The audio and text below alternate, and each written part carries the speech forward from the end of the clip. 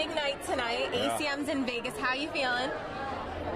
I felt better before. I've, I've, I've had three three days here with the Kane Brown tour. Where it was like a few weeks back, and then uh, we've had three days here. I'm ready to go home. Like Oh. I can't do Vegas six days in a month. It's a terrible idea. But other than that, I feel awesome. I'm seeing a bunch of people.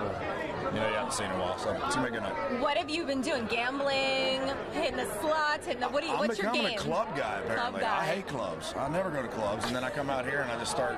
I'm going clubs now. I I don't know what it's called. I couldn't tell you anything about the place. Yeah. But we're having fun, man. It's just, I think just two years at home, you know, writing records, you know, what everybody's been through the last few years. Yeah.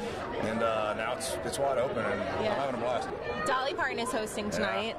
You look pretty excited when I said love Dolly. Dolly, man. And it's it's you know uncensored. You know, it's not on network television this year. It's on Amazon Prime, and uh, I mean she can say a little bit more. I think so. I'm, I'm excited to see how she does it. Oh my God.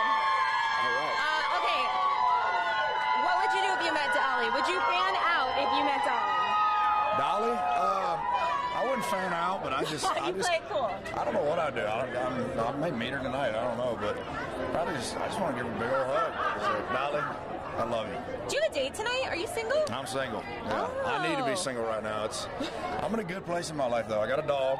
I got a dog for the first time in my life. He's uh he's all over the record. He's the new record that we just recorded at my farm and life's good right now. I can't complain.